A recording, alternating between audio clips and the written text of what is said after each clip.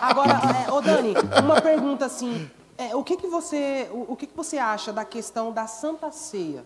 Porque a gente sabe que tem aquela questão, quando vai ter a Santa Ceia, examine-se o homem a si mesmo. Qual que é o segredo real ali nesse examine-se o homem? Porque a, a, a gente percebe meio que uma exclusão, né? Como, por exemplo, ah, se a pessoa está em pecado, ela não pode cear. É, Mas então, Esse, estar em pecado é algo que não tem como, que tá é falando pra, tá- a, a Bíblia está falando para examinar e sair da mesa? Não. Ah, eu Não também diz. não achei, não. Não- Também não. Esse negócio de tirar. Quem gosta de tirar os outros é só o crente. Deus, Deus detesta Cara, excluir, velho. que- que- legal, mano. Examinar é você olhar para você, olhar para dentro de você e ver como Deus é bondoso com a sua vida e como Deus é amoroso que colocou um cara para morrer no seu lugar, porque você não presta, velho. Caramba, isso é se examinar. E é, e é um se examinar não com pesar, mas é um examinar com gratidão.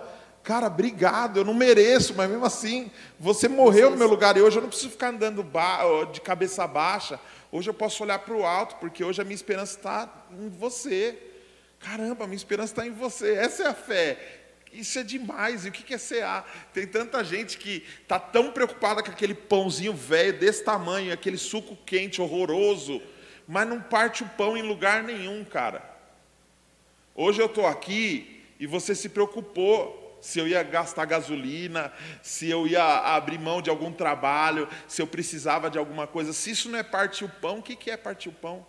Onde dois ou três estiverem reunidos em meu nome, ali eu também estarei. Será que Deus não está aqui só porque não tem 100 pessoas aqui, 200 pessoas aqui? Então a gente engessou muito as coisas e coisificou demais que a pessoa está mais preocupada com o ritual do que com o relacionamento. Eu já tive na igreja um dia orando, chorando, porque não tinha comida dentro de casa. E um cara saiu no meio do culto e foi no mercado do lado da igreja, e comprou até papinha para minha filha e trouxe. Falou: Ó, mano, Deus te abençoe. Se isso não é ceia, me, me explica que ceia que é melhor que essa, velho. Me explica que ceia que é melhor que essa. Essa ceia aí que você posta é, fotinho foto da- no Instagram. Ah, pede Vai muito além disso. mas não dá Muito sem conto. No- Miserável. Fala de cear e fala de frequentar, porque igreja, ninguém é igreja sozinho. Eu apanho por causa desse negócio da igreja sou eu, viu? Ninguém é igreja sozinho. A igreja é só todo mundo junto, mas você não sabe uma dificuldade de alguém da igreja. As fofocas você sabe, mas o que está faltando você não sabe. Você não tem capacidade de chegar em ninguém e falar assim, mano, e aí, como que tá as coisas, velho? Tá precisando de alguma e aí, coisa, essa live aí, mano? Caramba, vocês estão com um monte de coisa aí, equipamento, galera. E aí, mano, eles, como que eles se viram, mano? Eles estão precisando de alguma coisa, mano? Tem como eu somar? Tem como eu fazer alguma coisa para ajudar? Entendeu? Então, não. O que importa é cada um por si e a salvação é individual. Olha que louco. Nós somos igreja em grupo, mas a salvação é individual. Ah, aqui para você. Não, e, não, não, isso, e esse tipo de, de diálogo, Dani, ele leva até conhecimento. A gente sabe, é bíblico. O meu povo perece por falta de conhecimento. Que conhecimento é esse? E bom seria, né, mano, se as pessoas se despertassem para tentar entender, cara, o que, que eu preciso aprender? Sim. Eu excluí meu canal. Um dia eu excluí meu canal. Mas estava com quantos seguidores? Estava pouco. Eu já estava bombando. 300 mil. Caraca, Eu estava pronto para excluir. uau. Por quê? Porque eu entendi que Deus falou comigo, que a gente tem que tomar cuidado, às vezes você sente que tem esse negócio, não, Deus me incomodou, tem gente que gosta de usar esse termo, né? Deus Sim, me. sim. Caramba, imagina a pessoa tá de boa aqui. Ah, ah, que foi não? É, é Deus está incomodando, às vezes é gases, às vezes, sei lá. É, é, é, é um infarto, alguma coisa. Não, Deus me. Eu tinha a convicção que Deus tinha falado comigo que era para excluir o canal, velho. Sabe por quê? Porque eu recebi dez mensagens com o mesmo teor e todas as mensagens falavam sobre o mesmo trecho da Bíblia. Então eu não acredito em coincidência, mas em Jesuscidência, aleluia. E as dez pessoas falaram: o seu conteúdo me escandaliza. Nossa. Então Paulo diz que se alguém se escandalizar, você não faz. Então eu falei, vou excluir meu canal. Aí, graças a Deus, que eu não ouvi essa voz, que eu achei que era de Deus, liguei para um amigo que não era muito crente, mas estudava bastante. Ele me chamou de burro e falou: Você sabe o que significa a palavra escandalizar? Eu falei: Sei. Ele, o que significa? Ah. Ah. Não é isso? O que é isso? Brasil! o que é escandalizar, velho? Não sei o que é escandalizar. Eu não sei, eu sou um bosta. Eu não sei nem o que é escandalizar, mas não, o pessoal escandalizou. Ele falou, cara, escandalizar é tirar alguém do caminho, tirar alguém do propósito, tirar alguém da sua rota.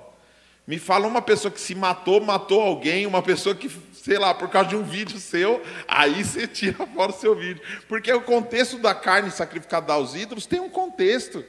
Era um ritual, era uma parada que era ali, que era pesada, que era zoada, e a galera estava saindo daquela realidade para outra realidade. Então, por exemplo, aí entra o lance da cerveja, por exemplo. Se você tem um cara que acabou de sair do alcoolismo, imbecil, você não vai tomar um vinho na frente dele, vamos tomar um vinho aí. Exatamente. Isso é escandalizar, jumento. Isso é escandalizar. Você vai excluir seu canal? Mano, você é burro, velho.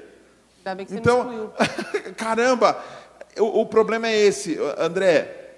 Se a gente fosse menos preguiçoso e se a gente buscasse entender um pouquinho as coisas de uma forma um pouquinho mais lógica, você é louco, mano. A vida fica muito mais leve.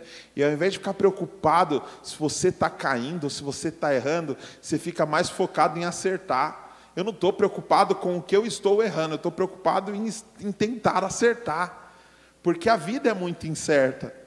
Então eu não sei quantos pecados eu cometo. E desculpa, mano. Deve, é impossível. A Bíblia também fala que é impossível. Se alguém falar que não pecou, já mentiu, velho. Então o que, que significa isso? Que é, ah, não, vou viver minha vida de qualquer jeito? Não. Quanto mais perto da luz eu estou, mais eu consigo ver em mim mesmo o que não é legal. O que, que não faz bem para você? Mano, você está num relacionamento abusivo, você está, cara, você é um viciado em igreja, você não sai da igreja, você é um ótimo presbítero, econômico, pastor, músico, mas você é um péssimo marido, você é um péssimo amigo, você é um péssimo profissional, você é um péssimo cidadão, você é um péssimo tudo. Mas só na igreja você é bom, tá valendo? Será que é isso que Deus quer, mano?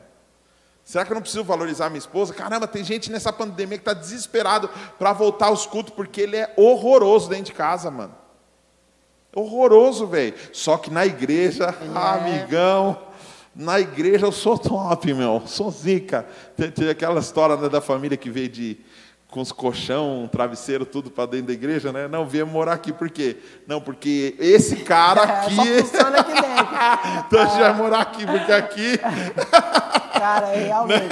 Real, real. Então, assim, é, é, tudo é ilusão, velho. Tudo é ilusão e tudo é ritual. Então a gente julga muito o católico, e a gente veio do, do catolicismo, a gente julga, chama o católico, o católico de idólatra, Idólatra, mas a gente idolatra a Bíblia, a gente idolatra a igreja, a gente idolatra o, o não estudar, a gente idolatra a alienação, a gente idolatra a nossa opinião, a gente detona todo mundo que pensa diferente da gente.